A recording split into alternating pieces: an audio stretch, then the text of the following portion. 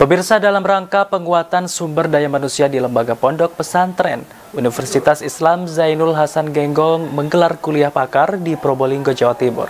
Hadir sebagai narasumber dalam acara tersebut Wakil Ketua KPK Nurul Gufron. Hadir dalam sebagai narasumber dalam acara penguatan sumber daya manusia di Lembaga Pendidikan Pondok Pesantren ini adalah Wakil Ketua KPK Nurul Gufron sebagai pembicara di forum yang diselenggarakan oleh Universitas Islam Zainul Hasan Genggong Probolinggo pada Senin pagi. Selain Nurul Gufron juga Direktur PT KI Kementerian Agama Suyitno sebagai narasumber terakhir. Acara ini selain dihadiri oleh para akademisi, mahasiswa dan kepala lembaga pondok pesantren Zainul Hasan Genggong. Bahkan pengasuh yang juga ketua yayasan pesantren Kiai Hasan Mutawakil Allah juga memberikan sambutan di depan para undangan.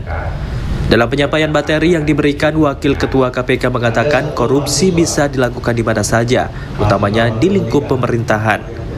Menurutnya korupsi biasanya dilakukan oleh seseorang atas kewenangan jabatan. Ada tiga hal pendekatan yang dilakukan dalam memberantas korupsi. Di antaranya lewat pendidikan, perbaikan sistem tata kelola dan pendidikan, kuliah umum yang dilakukan saat ini.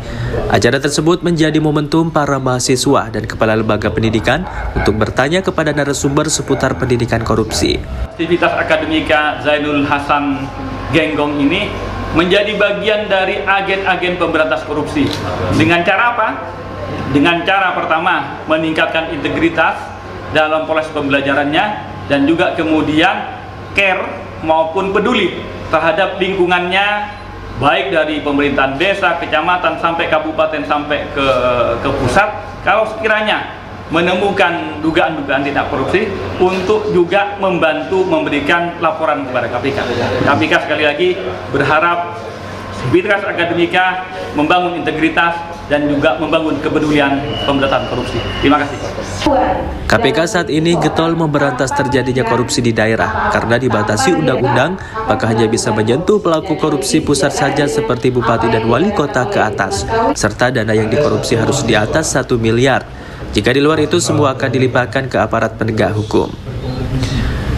Salah, salah satu tujuan yang ingin dicapai ingin melakukan penguatan terhadap para mahasiswa. Kalau mahasiswa tentu sebagai calon intelektual, ilmuwan, praktisi dan orang-orang profesional. Tiga kalimat ini harus kita ramu menjadi satu bagaimana penguatan keilmuan mahasiswa ke depan mampu menjadikan uh, kuliah pakar hari ini sebagai bagian yang tidak terpisahkan dengan keilmuan mereka. Diharapkan dengan digelarnya acara penguatan SDM di lingkungan pondok pesantren tersebut mampu mengedukasi dalam menekan terjadinya korupsi. Dari Probolinggo, Jawa Timur, Ahmad Taufik, AMTV, melaporkan.